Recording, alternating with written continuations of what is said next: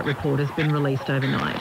It details 10 instances where investigators examined whether US President Donald Trump tried to criminally, criminally obstruct the investigation.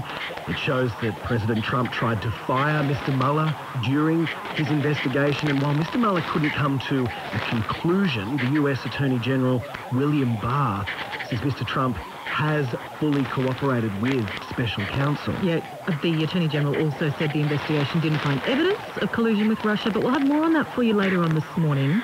That fire at the Notre Dame Cathedral, it still feels a little unreal, doesn't it? It's been a few days now, but um, still a little hard to take in. certainly is. It's shocked the, the world, of course, overnight. We've been told that French officials suspect it was an electrical fault that caused the fire. An official has spoken to the Associated Press. It says early findings suggest a short circuit caused that massive blaze.